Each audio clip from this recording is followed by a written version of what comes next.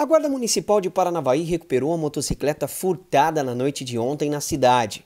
A ação aconteceu quando os guardas estavam realizando um patrulhamento e se depararam com o condutor, que, ao visualizar a equipe, tentou esconder a placa da moto. Porém, foi abordado pelos GMs, que, após uma averiguação, constataram que a motocicleta era furtada. O homem e a motocicleta foram encaminhados até a sede da 8 Subdivisão Policial aqui em Paranavaí. De acordo com informações da Guarda Municipal, o homem também possuía passagens por receptação. Agora, a polícia irá abrir o um inquérito e ele segue à disposição da Justiça. A equipe Romu da Guarda Municipal, em patrulhamento pelo Jardim São Jorge, avistou uma pessoa do sexo masculino conduzindo uma motocicleta, que ao perceber a presença da equipe, tentou esconder a placa da motocicleta com as mãos. A equipe, diante disto, fez abordagem, nada de ilícito com o mesmo.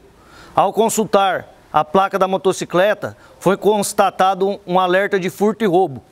Diante disso, o masculino e a motocicleta foram conduzidos à delegacia de polícia para as devidas providências.